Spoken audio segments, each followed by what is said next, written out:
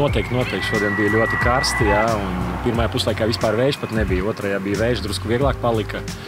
Un, uh, vajadzēja kaut kādu laiciņu, ja, lai pierastu pie šiem laika apstākļiem un, un, un kā saka, akli, aklimatizēties un uh, mēģināt spēlēt futbolu. Es domāju, ka ideāli viņi noteikti šodien nebija, bet uh, vajadzīgs drusku la laiks, lai pieslīpētu visu. Es domāju, ka kārtībā būs gan šim, ir visiem jau zināma vērtība. Jā, gan Bills, es uzskatu, šodien īpaši pirmajā puslaikā ļoti labi nospēlēja. Bija viņam momenti, viņš varēja vēl iesist, gan asistēt, uh, asistēt vēl spēles laikā. Tā kā ir ok, bet labi, ka ir uh, pie kā strādāt.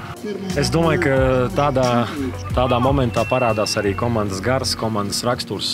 Mēs to parādījām, izrāvām spēli. Tā kā labi, ka šodien viss tā pozitīvi beidzās. Es domāju, ka ar pluszīmi var atzīmēt, ka mēs pēc ielaistā gola spēlējām tālāk, mēģinājām iesist un izraut spēli.